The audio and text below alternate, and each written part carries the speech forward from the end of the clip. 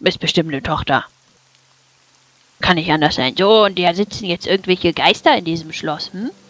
Dann solltet ihr eine Schamanin fragen. Mhm, die kann das. Was kann jener? Na, mit Geistern reden.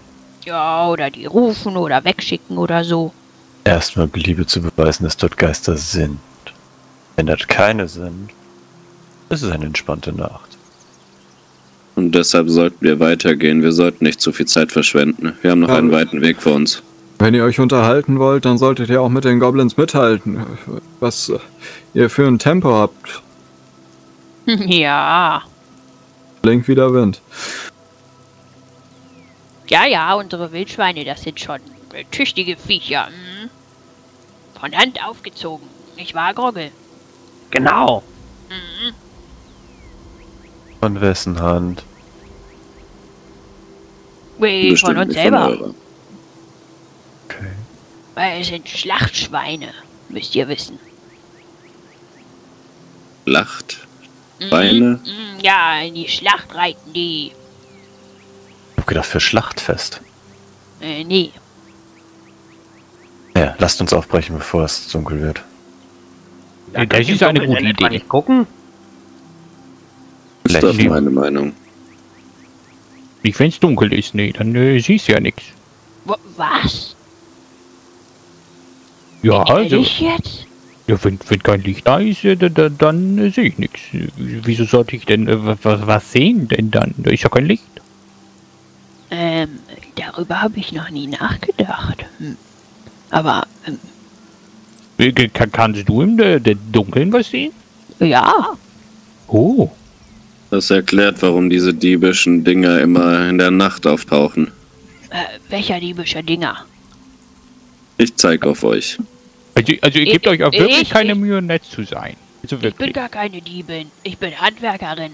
Und ich bin Jäger. Mhm. Und Krieger. Das ist ja das Gleiche. Krieg ist ja Jagd. Ich schaue euch unglaubwürdig an. Also ich, ich bin Bauer. Ich Ah, weiß nicht, ob ihr sowas habt. Ich bin? Scharfrichter. Äh, ja, was ich, macht äh, ein Bauer? ich, ich passe auf Schweine auf und auf Rinder und auf Hühner und äh, dann züchte ich mehr davon und ab und zu verkaufen wir ein Rind und äh, wir machen auch ein bisschen was im Boden. Wie, wisst ihr, so mit den Haken, habt ihr das schon mal gesehen? Nee, ich kenne Haken, die man ins Wasser hält. Ja, nein, nein, du, du hakst den Boden und dann packst du da so Samen rein und dann wächst da eine Pflanze. Die kannst du dann ernten. Da habt ihr doch bestimmt schon mal gesehen, diese Felder, die hier, also hier sind keine, aber manchmal so neben den Siedlungen sind so äh, Pflanzen, da Ah, wachsen diese, die- diese, diese, diese, diese Flächen mit den leckeren Sachen, die immer die Menschen, wo sie immer wütend werden und, und, und mit, den, mit, mit diesen komischen Dingern wedeln, wenn man da Sachen wegnimmt. Ja, die Ja. Holzstäbe mit den Zacken dran. Ja, genau, genau, genau. Die, die, sowas mache ich auch. Also ich, Während ähm, Sowas weiß der Groggel. Der ist ein Schamane, sag Der ich ist ein doch. Schamane. Der ist von Malam Rektor gesegnet. Der weiß das. Ja, aber der ist keine Frau. Vielleicht müssen wir eine aus ihm machen. Geht das? Ich gehe mal zu, zu Ronga und äh, Tau nach hinten.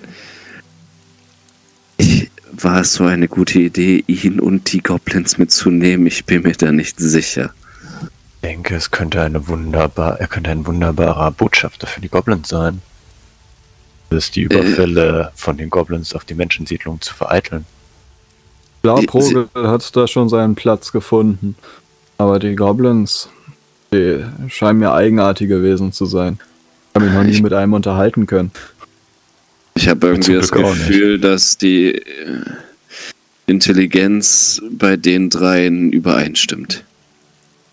So könnt ihr euch weiter unterhalten und äh, zahlreiche Diskussionen über die Intelligenz oder den Schniepi von Bauer anstellen. Auf dem Weg, den Straßen entlang folgend, wird das Gras dann mehr und mehr dunkler und Verbrennungsspuren aufweisen und irgendwann wird es komplett schwarz und zahlreiche Borons, äh, Kreuze bzw. Räder, die dann hier aufgestellt worden sind und von einer großen Schlacht künden, auch einen großen Drachenkadaver, den ihr erkennen könnt, der hier verwesend liegt und vielleicht ja zu anderen Zeiten den Schweinen als Futter dienen könnte. Jetzt allerdings weiterhin stinkend, mit einem aufgequollenen Bauch, Gedärme, die rausgerissen sind, äh, liegt er dort verwesend in der Hallinger Tiefebene. Und dann könnt ihr ja, kurz vor der Nacht erkennen, wie dort das Spukgemäuer, der Raufenberg, vor euch, auf, ja, äh, vor euch aufragt. Hm, einige Lichter, die in den Turmruinen zu erkennen sind, als ob dort auch irgendwie eine Fackel umhergeht. Aber ansonsten von Menschen könnt ihr nichts erkennen. Ich möchte mal schnuppern, was ich denn hier so im Wind schnuppern kann.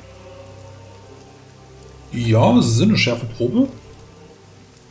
Mhm, ich habe herausragenden Geruchssinn, den rechne ich mit ein. Ja, wie viele Punkte gibt ihr? Fünf.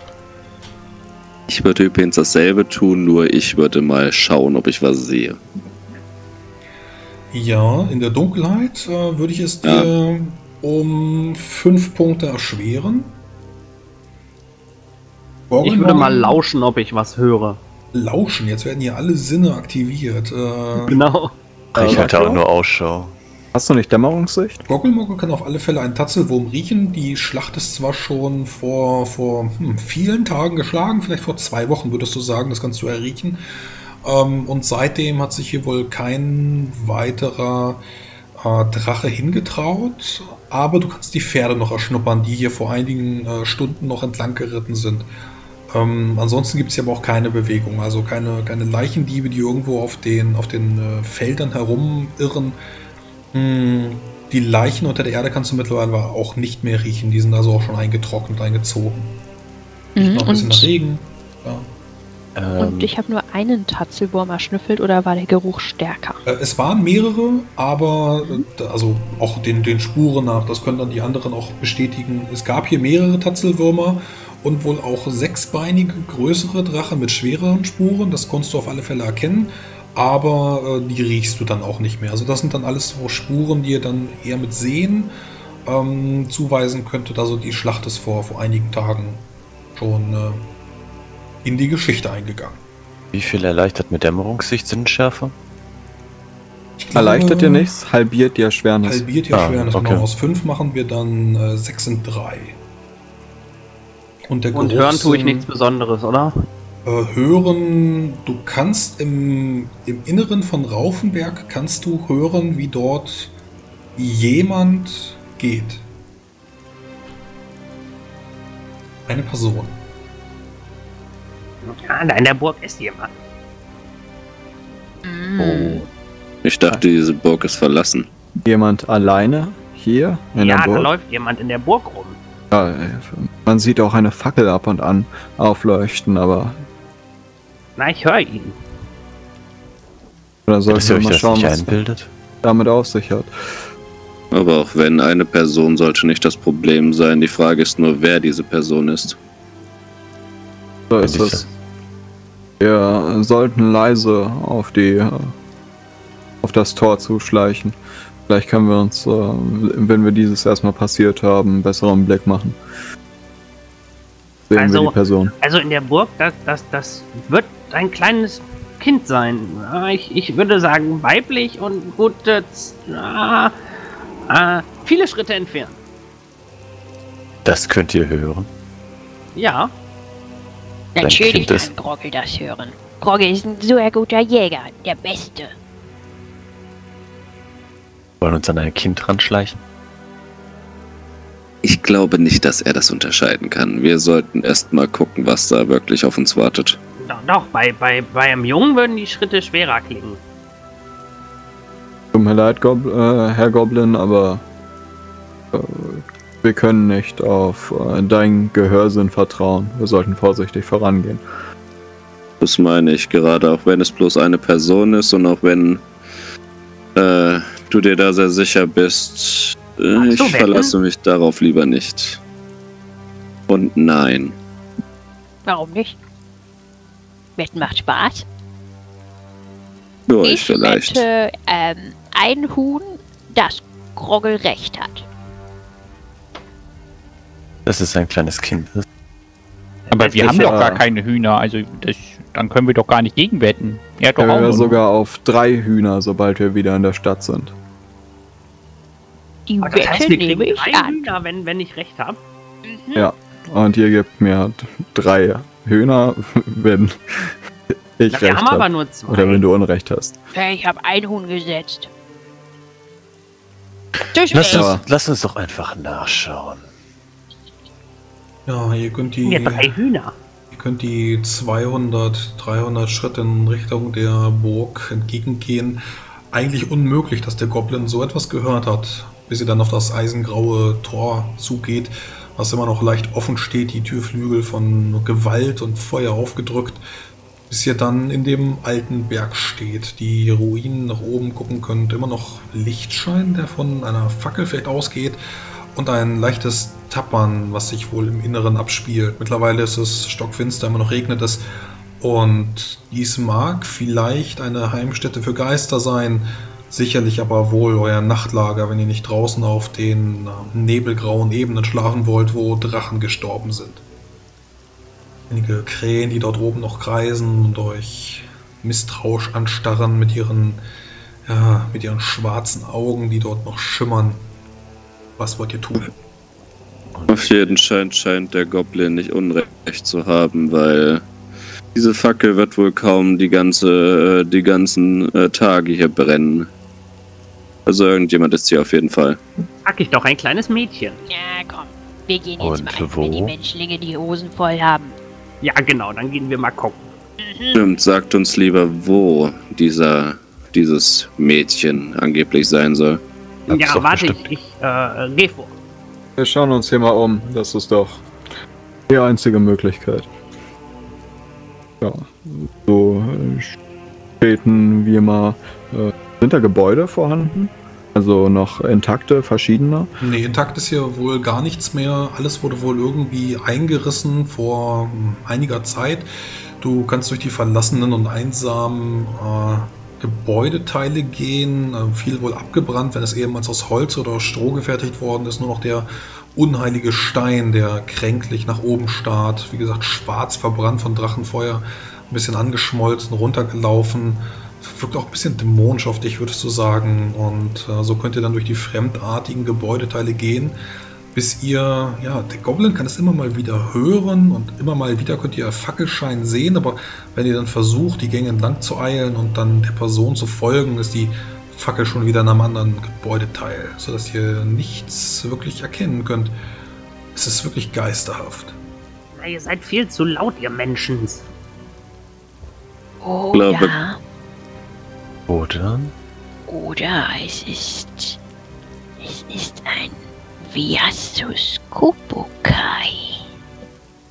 Ein, Ein was? Was?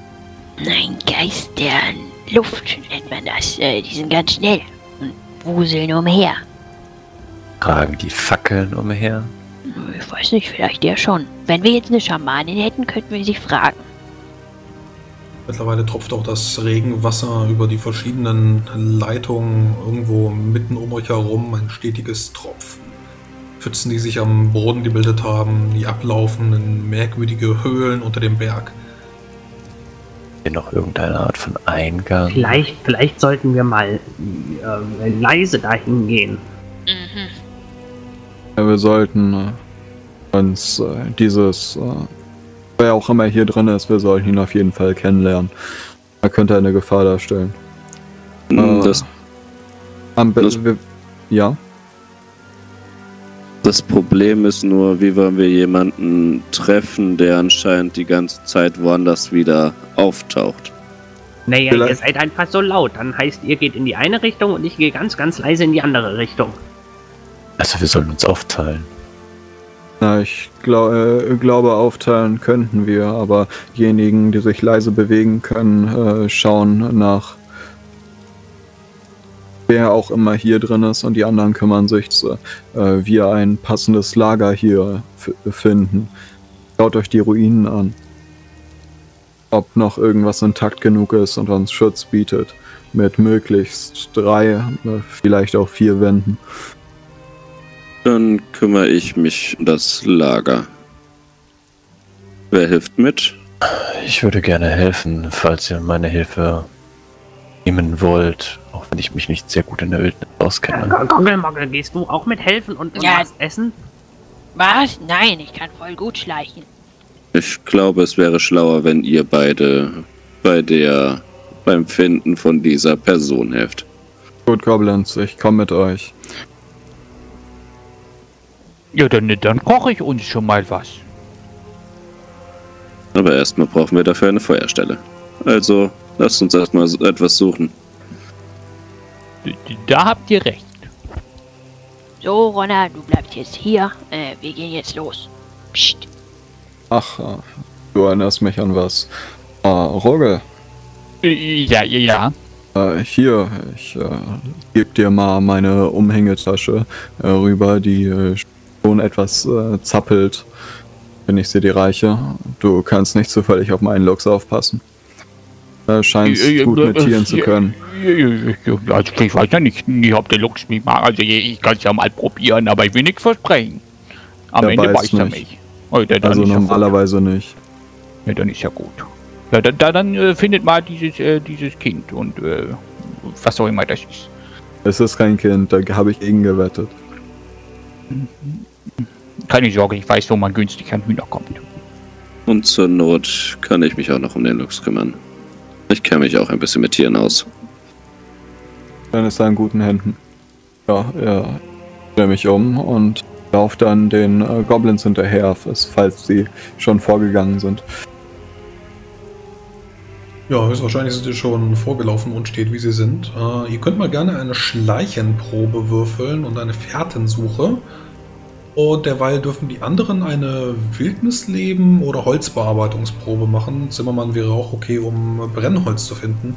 Denn vieles ist, wie gesagt, in den schwarzen Trümmern nicht mehr zu benutzen. Ist natürlich dann wichtig, dass man etwas findet, was dann die Nacht überbrennt. Irgendwie alte Bücherregale, wenn sie dann noch da sind.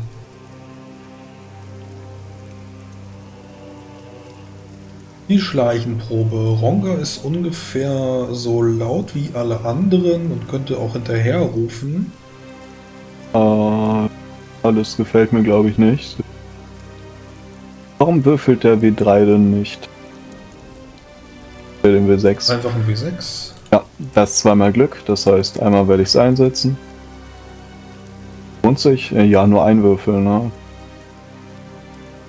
Das ist eine 4, damit sind alle 8 Punkte über. Mhm.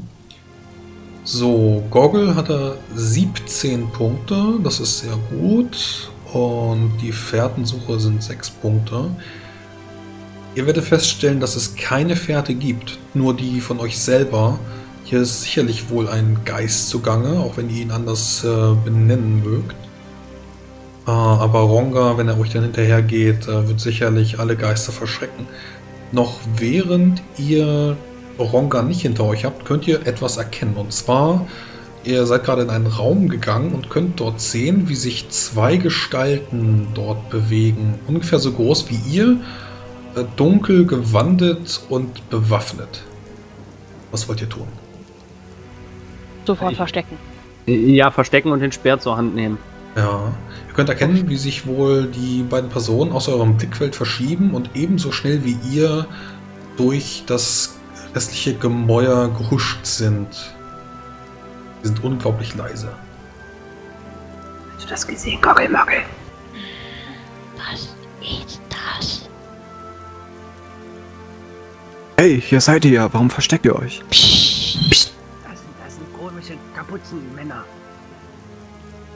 Da, da drüben. Goggle, Moggle, Goggle, ihr könnt erkennen, wie sich eine dritte Person, wesentlich größer, jetzt ebenso in den Raum geschoben hat und bewaffnet äh, in Richtung von Ronga schaut. Da, da ist noch eine Person. Ich gl- glaub, sie sieht mich. Hey, wer bist du? Gib dich zu erkennen. Wenn du es so willst, dann kannst du es so haben. Aber ich will das nicht. Und Ronga zieht sein Schwert. Ja, du siehst, wie die andere Person ebenso sein Schwert zieht. Ja, etwas irritiert äh, wechsle ich mal äh, un untypisch für den anderthalbhänder den äh, das Schwert in die eine Hand äh, äh, immer mal wieder Würfel und schaue auf seine Reaktion. Ja, kann ich machen. Die Goblins auch. Ja, Punktlandung. Wow. Goggelmogel, Goggelmogel kennt das Geheimnis und auch Groggel. Äh, zwar nicht äh, von Menschen gemacht, aber aus dem, Sch- ja, aus dem See kennt ihr das. Da, da ist ein, ein, ein Spiegel. Ja, und Der ist aber groß. davor habt ihr euch versteckt. Ranga steht jetzt deutlich entspannter. Ja, da waren zwei gruselige Gestalten, die plötzlich aufgetaucht sind. Ihr wart die, sahen gruseligen äh, Gestalten. stark aus und äh, mächtig. Mhm. Genau, bärig. Ja, ja.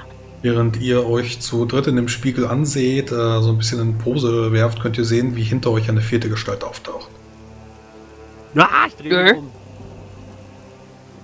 Äh, ja, ich schau mal in den Spiegel neugierig. Was für eine Gestalt. Ja, ungefähr so groß wie die Goblins, ebenso rot, aber nicht gepelzt, sondern in einen roten Umhang gewandelt, ein kleines Kind. Mit einer roten Kappe.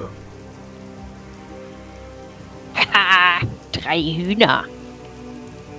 Hm, Steht die auch Ah. hinter uns, wenn ich mich umdrehe? Nein. ja, dann äh, dreht sich Ronga um und weicht ein bisschen zurück, als das Kind dann wirklich da steht und nicht nur im Spiegel zu sehen ist. Ja, Was, äh, was ähm, machst du hier? kannst den Äh, Wind leicht flüstern hören. Ich suche meine Großmutter. Was dich beunruhigt ist, dass sie ein großes Schlachtermesser in den Händen hält, zumindest im Spiegel. Sehen kannst du sie nicht. Ähm, Bist du der Jägersmann? ich bin Scharfrichter. Was machst du mit den Schafen? Ähm, ich, äh, äh, das hat äh, rein gar nichts mit Schafen zu tun und vielleicht sollten wir das wann anders besprechen. Warum hast du so Also- große also- Augen? Damit ich gut gucken kann. Ey, der redet doch gar nicht mit dir, Groggel. Nicht? Aber so die hat was von Jägersmann Ohren? gesagt. Nimm das Beil aus der Hand. Sie holt einen kleinen Schleifstein raus und fängt an, das zu schleifen. Ey, das ist aber gar kein netter Geist. Ksch, ksch. Das, Ich, ich, ich habe mal gehört, wenn man laute Geräusche macht, kann man Geister verschrecken. Okay. hm. Musst du pupsen? Mm, äh, äh, nee, nee gerade nicht. Äh, soll ich mal tröten? Während ihr dort vor dem Spiegel steht, können die anderen versuchen, ja, die restlichen ähm, verbrannten Holzstücke nochmal zusammenzusuchen. Ein schwarzes, äh, ein schwarzer kleiner Haufen, den ihr versucht anzuzünden. Wer hat die meisten Punkte übrig, wildes Leben? ich, Äh, Tau mit 1. Mit 1. nee, das reicht mir nicht. Immer mal wieder ein Streichholz, was ihr versucht reinzustecken, ähm, aber mag nicht angehen. So verregnet wie es ist und äh, so abgebrannt wie es auch ist, wird das wohl nicht warm. Und ähm, wenn ihr nochmal nach oben guckt mit dem steten Plitschen und Platschen, das wird eine sehr ungemütliche Nacht. Pa packt euch dicht ein, damit ihr keine Erkältung habt. Oben aus den Turmruinen könnt ihr nicht nur die Krähen hören, sondern jetzt auch noch eine unheimliche Musik, die dort erklingt. Leichtes Flötenspiel.